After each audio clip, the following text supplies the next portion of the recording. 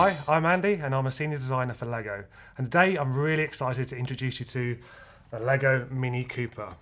Now this of course is one of the most iconic cars of all time uh, and one of a personal favourite of mine. Uh, it's the follow-up to the very popular LEGO VW campervan.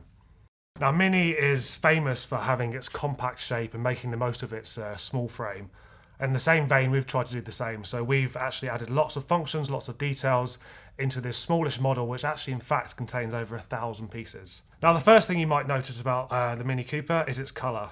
We've chosen to do it in British racing green with the iconic white roof, white wing mirrors, and white stripes as well. This means that there are a few uh, bricks here which have never been done before in this dark green uh, rare colour. Most notably, I'd say, would be the wheel arches, which some of you may recognise as being a windscreen that we've done in transparent before. Now the car has lots of um, special design cues uh, throughout the exterior and interior, which really adds to the authenticity of the model. So starting at the front, we have obviously the round headlights, um, twin fog lights, and the iconic grille. We also have quite a few drum lacquered elements here in the front bumper. The bonnet, of course, opens up to reveal the compact 1.3 litre mini engine. And we've worked really hard to try and authenticate that iconic side profile view of the Mini Cooper. Uh, ways we've done this, for example, are curving up from the wheel arch here up to the light. Also, we've um, managed to keep the curve of the shoulder going all the way from the back to the front. We've actually used an interesting building technique down here, uh, but some of you guys will understand that when you build that yourselves. Also, this bow element here has the twin stripes going across, and this is the first time we've actually printed on this element.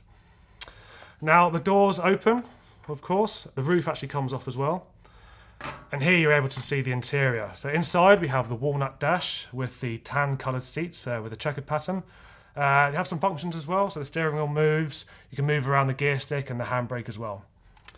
Now we have some real surprises at the back of the car. So you open up the boot, and inside we actually have a picnic basket, and blanket, and a bottle there as well. Now, of course, these things don't always go to plan, so maybe on your road trip you have a uh, puncture on your wheel. So what you can also do is open up the base here, and then you actually have a spare wheel in the back. So this is the LEGO Mini Cooper. We hope you have as much fun building it as we did designing it.